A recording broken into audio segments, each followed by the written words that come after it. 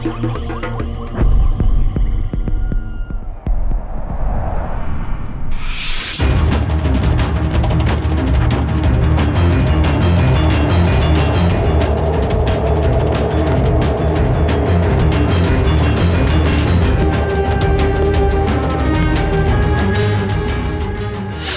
Welcome at Ubisoft Montreal on Far Cry 2's production floor.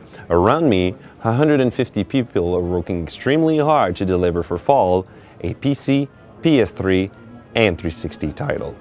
This is an introduction to some of the coolest feature we have in the game.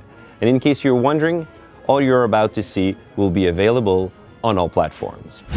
Far Cry 2 takes place in Africa, so we went there. But we wanted the real Far Cry experience, so no hotels for us. We stayed in the wilderness with the animals. We visited savannas, woodlands, jungles. We came back with over 7 gigs of pictures, dozens of hours of HD footage, and a truly terrifying story of lions in our camp at night. An experience that I truly would not want to live through ever again. But when we came back and realized what we had and applied it to the game, we knew that it was all worth the effort.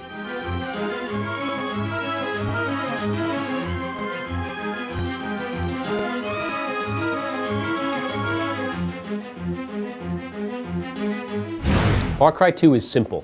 You have one mission, and that's to hunt down and kill the Jackal.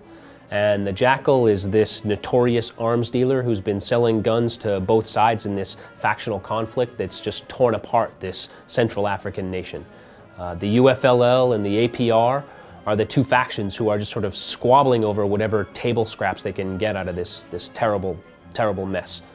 Uh, in order to complete your mission, you have complete freedom to go anywhere you want into 50 square kilometers of open African terrain. If you want to go into the jungles, into the you know river systems, the lakes, the valleys, the canyons, the, the open savanna plain, the grasslands, the desert, all of this is just beautifully fully rendered and you're free to go anywhere you want at any time. Uh, in order to track down the jackal and, and take him out, you're going to have to take missions for those factions, but what's really important is that how you do those missions is really up to you.